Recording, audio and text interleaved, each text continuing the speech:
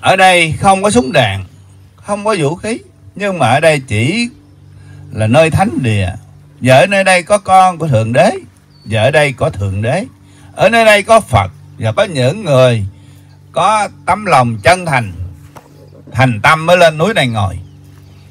Những người mà không có đủ duyên, khó mà lên đây ngồi lắm á. Ba cái nhang này là ba cái tòa tháp thượng kiều bữa nay bà trương mỹ lan á, mới ngày hôm qua tôi khấn cho bà rồi đó. Cho nên tôi nói trước hôm nay mấy video vậy bà thiếu tôi ba cây nhang bà trương mỹ lan sẽ không có bị chết trên hứa rồi. Hồ đã khấn.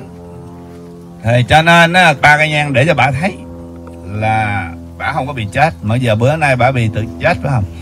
Đó là cái phước của bà. Có người qua đây đích thân qua đây gặp sư phụ nhờ.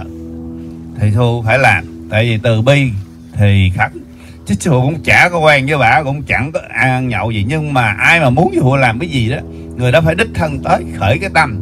Chứ xuống trần đó, lo cho đại chúng lo cho thế giới lo cho cả một nước việt.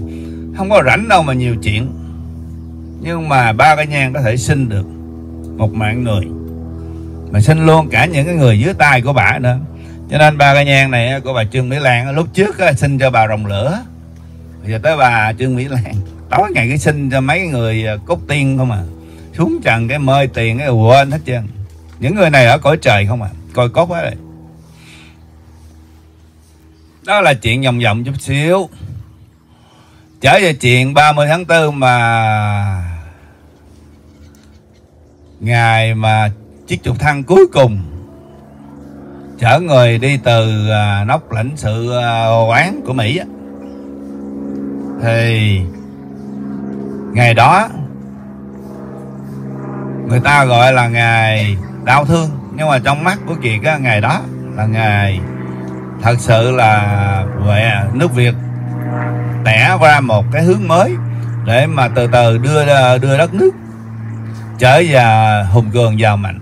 Bây giờ mấy con nghĩ nghe ở nước Việt Nam thí dụ như à, có một đống dầu hỏa như ở à, Ai Cập Iran nó có bằng 6 triệu người thông minh có à, có bằng sáng chế thứ này nọ. Rồi hàng con hàng cháu cũng lớn lên ở đây có bằng đại học. Cái nào quý hơn vậy? Cái bằng cấp ở đây chắc xám là quý nhất. Cứ thay phiên nhau về xây dựng nước Việt tương lai. Đó là ngày xưa mấy vị nói. Đó là một kho tàng vô giá.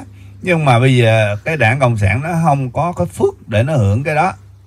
Sau này một cái thể chế mới đứng lên thì tất cả 6 triệu người Việt người Việt Nam người nào cũng vậy từ đứa nít 4 tuổi mà ra đường mà nó gặp thằng Mỹ mà nói nó tiếng Việt thôi nó cũng quýnh lên nữa.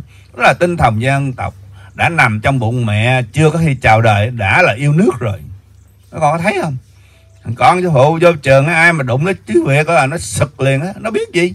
À, mà đụng tới mà chữ Việt Nam là nó đặt kênh này. Thì cái tinh thần dân tộc chúng ta rất là cao và cường. Con cháu lạc hồng mà đâu phải dựa con rồng cháu tiên mà. Có những người có những đợt đi trước 75 qua Mỹ lai rai.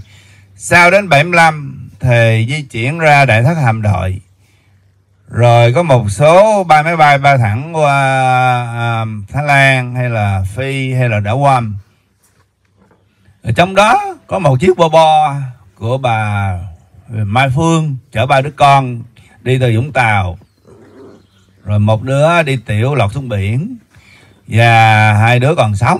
Rồi bà lấy cái à, áo cọt xê bảo quơ quơ thì bà thấy chiếc à, hết hết xăng á, thì lúc đó chiếc thuyền buồm mà đi từ Hồng Kông á, là của nữ hoàng Elizabeth. Thì thấy có một người cầu cứu thì chiếc thuyền đó cứu.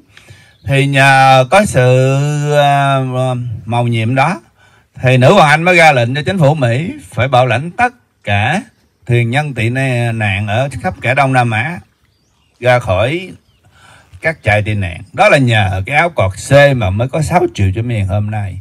Sau này lịch sử sẽ ghi bả có công.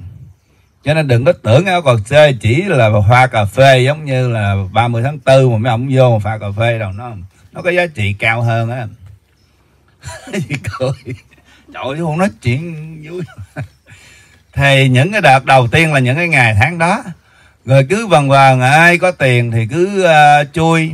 Chiếc uh, vỏ giọt cũng đi được chiếc xuồng ba lát cũng đi được chiếc ghe tâm bản cũng đi. Không phải là ghe được biển cũng phải đi biển. Nghĩa là đi mọi cách đi dài dài cho tới lúc mà gọi là đi chui á. Rồi cho tới lúc năm 78 có uh, gọi là đi bán chính thức những người họ Trần họ Lý họ à, đó là người Hoa đó bán chính thức thì đi cái làn sóng đó bảy cây vàng. Ai có bảy cây đi. Thì đi rất là nhiều. Tổng cộng số lượng người chết phân nửa. Mà khoảng thời gian đó khoảng hai ba triệu người đi bằng những cái cách đó. Nhưng mà chỉ có phân nửa được đến bến bờ tự do. Trong đó có thiên tấn kiệt này đi năm 1979